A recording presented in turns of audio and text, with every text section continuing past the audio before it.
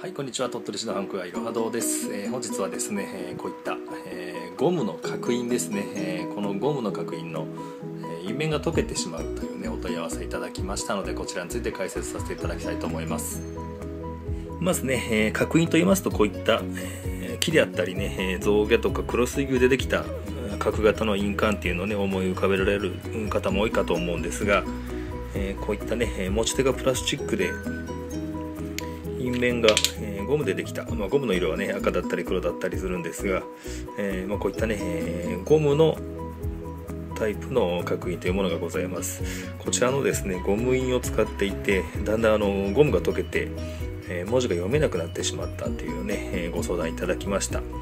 えこちらのね原因の一つとして考えられることがありますので本日はお話しさせていただきたいと思います。はい、えー、このねゴムの角印の印面が溶ける、まあ、角がね丸くなってきたりするっていうね原因は、えー、大体この原因の一つはですね、えー、こちらですね、まあ、ゴムの角印というのはねゴム印ですので、えーまあ、通常こういったね、えー、スタンプ台と言われるね、えー、ものを使っていただくんですがそれをね、まあ、形が角印ということでね間違えてこちらの、えー、印鑑用の手肉を使われている方がおられると思います。でね、えー、ゴムはね、この手肉使いますと、えー、まあ、ちょっとね、相性が悪いので、えー、ゴムがね、溶けてきたりということがあります。まあ、ほとんどの場合ね、えまあ、このスタンプ台ではなくて手肉を使ったことによってゴムがね、え溶けてきてしまっているということが、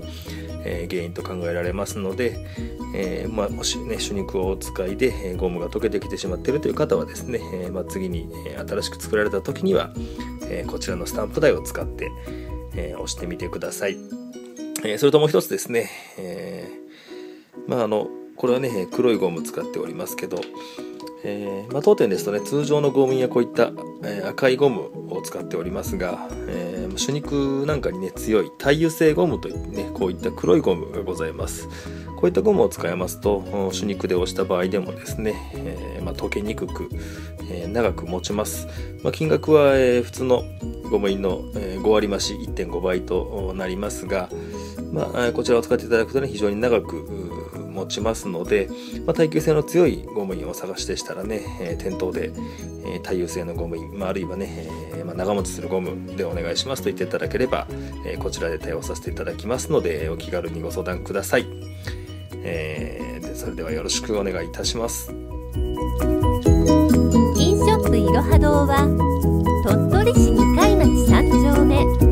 静街道筋商工会議所並びです